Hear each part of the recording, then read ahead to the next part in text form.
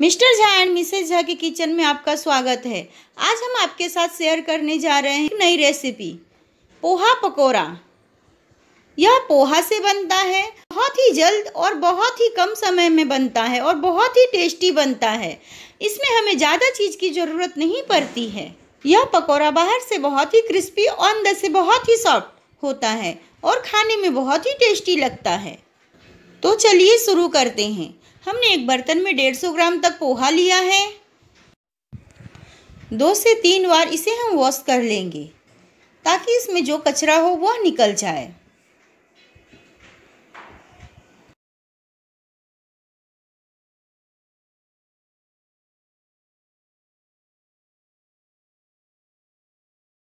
अब यह धो के हो गया है, इसमें हमें पानी बिल्कुल नहीं छोड़ना है, और इसे हम 15 से 20 मिनट के लिए ढक के रख देंगे। देखिए 15 से 20 मिनट बाद यह कितना सॉफ्ट हो गया है। इसे हम हाथ से छू रहे हैं, फिर भी यह पोहा सब दब रहा है।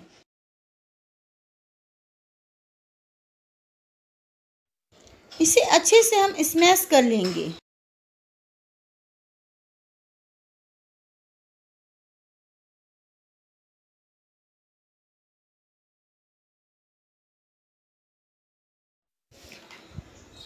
अब हमारा पोहा देखिए, अच्छे से स्मैश हो गया है।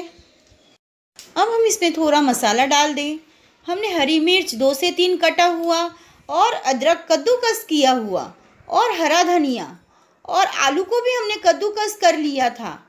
यह आलू चार से पाँच आलू को हमने कद्दूकस करके रख लिया था और इसमें हम डालेंगे धनिया पाउडर, मिर्ची पाउडर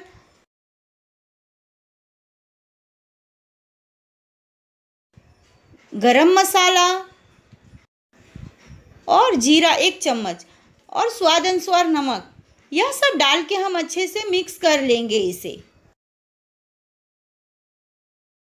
आप आलू को फोर के डालेंगे तो वो कहीं कहीं गुठली सा रह जाता है। इसके लिए हमने कद्दूकस करके इसमें डाला है। यह देखिए कितना अच्छा लग रहा है।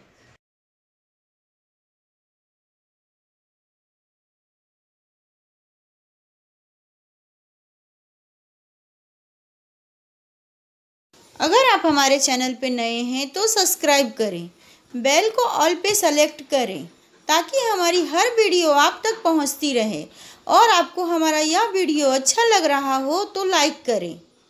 अब देखिए, हमारा यह पोहा पकोड़ा बनने को तैयार है। यह अच्छे से आलू इसमें मिल चुका है। अब आप इसे चाहे पेड़ा के आकार में बनाएँ, हम इसे बॉल के आकार में बना रहे हैं। तो देखिए, हाथ में हमने थोड़ा सा ऑयल लगा लिया था। और इसे हम अच्छे से गोल गोल गोल गोल कर लेंगे। बहुत ही आसान है यह बनाना।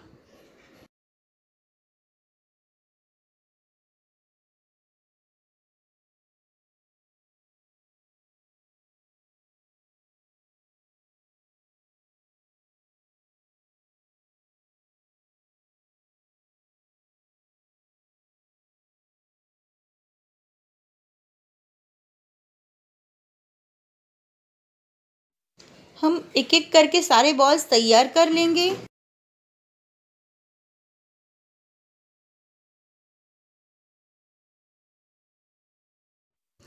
अब हमने एक एक करके सारे बॉल्स तैयार कर लिए हैं। अब हम चलते हैं अगले प्रोसेस में। अब हमने एक कढ़ाई लिया था। उसमें हमने ऑयल रख दिया था गर्म होने के लिए।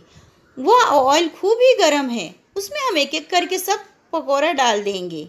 और इसे हमें नीचे गोल्डन ब्राउन होने तक सेकना है।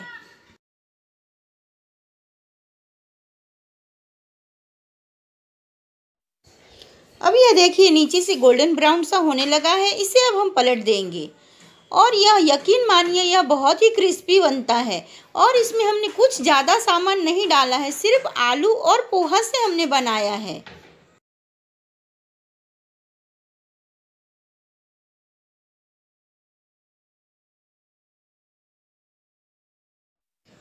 अब देखिए, यह दोनों साइड से गोल्डन ब्राउन सा हो गया है। अब इसे हम एक प्लेट में अच्छे से निकाल लेंगे। और जो हमारे बाकी के पकौड़े बचे थे, उसे भी हम ऐसे ही फ्राई कर लेंगे। यह तीखी और मीठी चटनी दोनों के साथ बहुत ही अच्छा लगता है खाने में। बच्चों को तो मीठी चटनी पसंद आती है। हर वीडियो में हम आपके साथ तीखी चटनी की रेसिपी शेयर करते हैं, इसमें हमने नहीं बताया है। हमारा यह पोहा पकौड़ा सर्व करने के लिए तैयार है। यह पकौड़ा देखिए कितना प्यारा लग रहा है और यह खाने में भी बहुत टेस्टी लगता है। आपको हमारी यह रेसिपी कैसी लगी, आप हमें कमेंट बॉक्स में कमेंट करके ज़रूर बताएँ। अगर आप हमारे चैनल पर नए हैं तो सब्सक्राइब करें, बेल को ऑल पे सेलेक्ट करें, ताकि हमारी हर वीडियो आप तक पहुँचती रहे। अगर आपको हमारा यह वीडियो पसंद आया हो तो लाइक करें और अपने अधिक से अधिक मित्रों के साथ शेयर करें और हमारा प्रीवियस वीडियो भी आप देख सकते हैं। धन्यवाद।